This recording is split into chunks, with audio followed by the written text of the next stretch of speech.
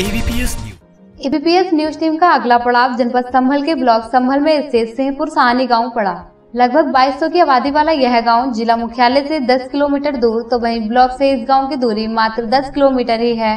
वर्तमान में गाँव के प्रधान राजीव कुमार हैं। वर्तमान प्रधान द्वारा गाँव में विकास कार्य बेहतर ढंग से कराए जा रहे हैं। लगभग 1300 वोटर वाला यह गाँव विकास के पथ पर अग्रसित है।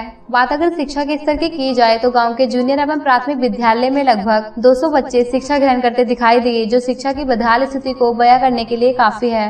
जब एबीपीएस न्यूज़ टीम ने वर्तमान प्रधान द्वारा कराए गए विकास कार्यों की समीक्षा की तो पाया कि गाँव में 400 मीटर सीसी टाइल्स रोड स्वच्छ भारत मिशन के तहत पैंसठ शौचालय प्रधानमंत्री आवास योजना के तहत 16 आवास तथा स्कूल की बाउंड्री का निर्माण भी कराया है। साथ ही पेयजल आपूर्ति दुरुस्त करने के लिए गाँव में चालीस हैंडपंप तथा विद्युत आपूर्ति दुरुस्त करने के लिए विद्युत पोल, विद्युत ट्रांसफार्मर व सोलर लाइटें भी लगवाई गई हैं। एबीपीएस न्यूज़ टीम से बात करते हुए ग्राम प्रधान ने गाँव में प्रधानमंत्री आवास योजना के तहत 60 आवास, पंचायत घर, प्राइमरी पाठशाला, सीसी टाइल्स रोड, स्वच्छ भारत मिशन के तहत 50 शौचालय तथा पानी निकासी के लिए 200 मीटर नाले के निर्माण की मांग राज्य में केंद्र सरकार से की है। वहीं ग्रामीणों ने भी बताया कि गाँव के वर्तमान प्रधान गाँव में विकास कार्य करने के लिए हमेशा तत्पर रहते हैं, लेकिन समय से धनराशि की किस्त न आने से विकास कार्य की रफ्तार धीमी पड़ी हुई है। मेरा नाम राजेंद्र सिंह है।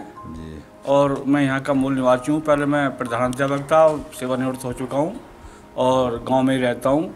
इस रास्ते के बारे में ये है कि रास्ता बहुत ख़राब था और हमारा प्रधान जी हैं राजीव अच्छा काम कर रहे हैं और उनका ये बना हुआ जो काम है मैं इसकी सराहना करता हूँ और उनके जो भविष्य की कामना भी करता हूँ। वो कहते भी हैं कि मैं पूरे कार्यकाल ऐसे काम कराता रहूँ मेरा नाम करणवीर है।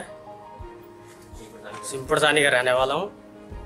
और प्रधान जी ने मेरे पास मकान नहीं था और प्रधान जी ने मुझे मकान दिया था अच्छा काम करवाया